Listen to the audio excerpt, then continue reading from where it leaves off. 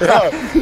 You're gonna, get it a little copyright yeah, exactly. Yeah. Maybe three notes. fine, Yeah, no, any more than that. It was totally you uh, until that tip of the hat to the Mighty Van oh yeah, of which course. It just went there. It Yeah. just, you know, so there you go. Oh, Yeah, that was great. All right, hey, with Richie Faulkner of Judas Priest, man, Richie, it is great to meet you, man. I love your work. Love your great to hear like some proper metal shredding right here Thank you very much, man. at at painful volume. it was the wedges aren't even on yet, so I mean Yeah. that's that's only kind of like a third of the volume. Yeah, yeah. I can just about hear you at the moment. yeah, My ears I, think a uh, would have a filling knocked out of my tooth right then on that first. As it should be. Yeah. As it should be. be. Man, okay, tell me about. Let's start with this guitar. Well, this is a guitar since I've had since uh, 2011. Right when you when you started. Right when I started, yeah, we realised we needed uh, a, a, like a, a Floyd Rose guitar. Uh, I didn't have one at the time. I had, a, I had a couple of Les Pauls and stuff like that. I had an SG, and I didn't want to put a Floyd on a Les Paul. It's too much wood to take Sure. out. Um, the SG seemed a bit too thin, and uh, it's Judas Priest. So I thought, Yeah. what a great opportunity to to put one on a V. Um, and so I asked the guys at Gibson if, if they could do me something, and I gave them a gave them a spec, and it wasn't like this originally. It was it had just the, the single scratch plate. It was the 50s shape, Yeah. and the 50s like half scratch plate, um, but it was bound, uh, neck, body, head, uh, the block inlays, and the EMGs. And I think at the time it was 81, 85 EMGs. Uh, the input jack in the top wing, and that's basically what it was. Uh, and since then, since 2011, I've just been customizing it with buckle rash and uh, I've got the, the double scratch plate on it. I was looking for something that kind of gave a different aesthetic, Yeah. but also served a purpose as well. So underneath this, all the paint's gone because I used to scratch it off with the with the cuffs that, you know, Sure, yeah. are obligatory with the priest. Yeah, yeah. Um, so not only is it it sets it apart looks wise, it kind of serves a purpose as well. So um, then I changed the pickups. These are 57, 66 EMGs, um, one volume knob, um, and that's pretty much it. There, there's stuff like I didn't want the the diamond on the headstock because Jimi Hendrix didn't have the he had a flying V at the Isle of Wight, and it Right. just had the Gibson logo, no diamond Oh. logo. So I didn't want that on there.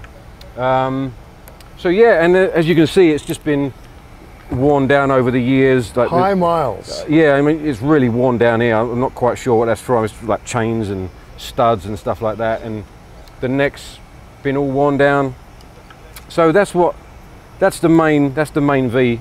An ebony fingerboard, right? Ebony fingerboard, Mahogany body. all mahogany. Yep. Um, and that was I was using it on a song called Halls of Valhalla at the time, and I just thought that was a good idea at the time, and, Yeah. it's, uh, and it stayed on there. Um, got some ring stuff up here from rings, which which Hendrix had as well. You know. Sure. locking nut. Um, it's kind of stripped down. It, as I said, it's got hasn't got the double volume or tone or anything like that. It's stripped down in some regards, but in other regards, with the Floyd, with the EMG, with the block inlays, it's kind of like a, a souped-up version. You know what I mean? So Yeah.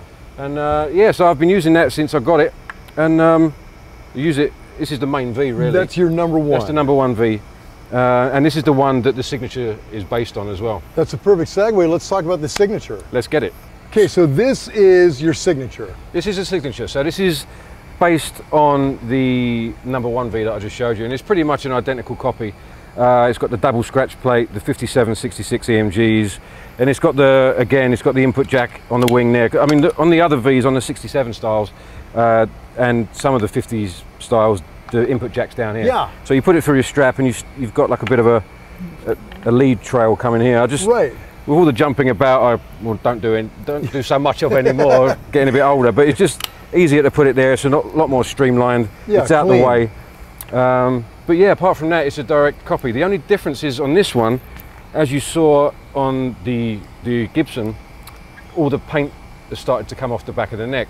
And I didn't, you know, it looks a bit unsightly. I'm fine with it, but Yeah. uh, someone who's buying a new guitar off the shelf, they might not like that. So we wanted to come up with a way of recreating the feel of the paintless varnished neck, uh, Yeah. varnishless neck, but still looking attractive. And and uh, the master builder came up with a satin idea. Oh, that's great. I mean, ironically, this Yeah, one's going shiny because I use it so much. That's the funny thing. That doesn't um, feel like a finish. No, it, it- originally it was more like this. It was uh, like a you know more Yeah. matte satin, but because I use it so much, it's starting to get shiny. Sure. Ironically, but uh, so we did that and it, it works perfectly. Um, and so yeah, when your tech hands you a guitar, if you're not looking, can you tell the difference? yeah, I can tell the difference. All of all of them. I mean, we had a, I had a couple of 1974 customs. Yeah. Same year, and they were totally different. I mean, every guitar, in my opinion, Sure. is different. You know what I mean? So you can always, tell, especially if you're this close to them. If Yeah, you're, yeah. you know, you've got a like um, like a relationship with them. We, Yeah. we use them every day. On these sort of conditions, you get to know them pretty quickly. So Yeah. this is actually a bit heavier um, than the other V, and I've got a, another one of these which is white, which is slightly lighter than this one. So I can tell, and I've got slightly different. Some the white one has got a slightly more snappier tone, um, which is great. They're all tools are Yeah. different, and uh, they do different jobs. So, but yeah, that's that's basically it. And it's got the the battery compartment in the back. Uh, which we had to actually put in the original because that wasn't the original. Right. Um, just for easy ease of use for the EMG battery to So go in it there. comes with your signature comes with those EMGs and It comes with the EMGs in the battery compartment, so you can just put the battery in there easily, and you're you're ready to rock again. So yeah, that's that one. That's that's the main the main signature axe that I use. love that.